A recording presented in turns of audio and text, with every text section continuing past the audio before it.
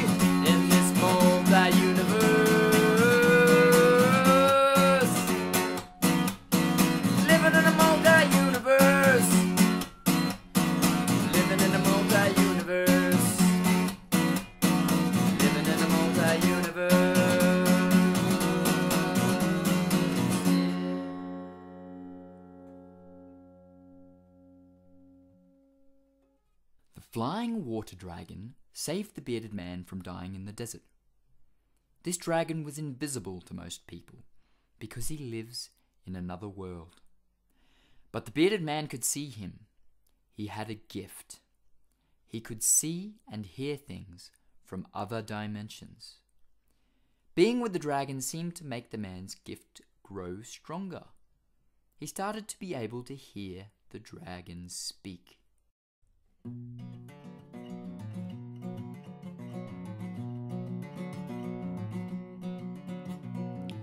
What you're wearing under there is something hiding in your hair. What kind of man are you? Where you from, the zoo? What you been doing in the stairs? It must have been very unpleasant. All that hair on you, and a squirrel too. I'm a flying water dragon. Finding water is my passion. I'll bring it to you. All I have to do is spew and that's water for you. And I'm a good guy. Arr. So the man, the squirrel, and the flying water dragon flew off into the new day. Just want to do something good to give to my sisters and brothers.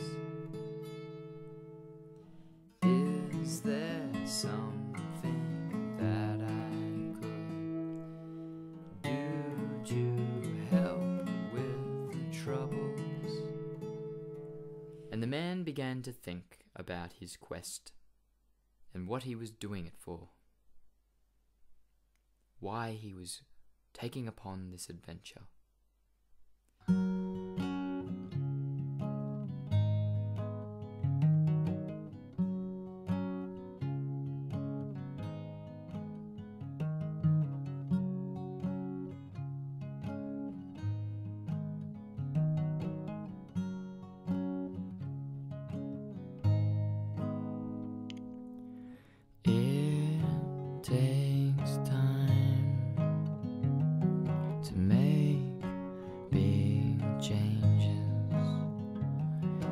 So be patient and know that you'll be okay.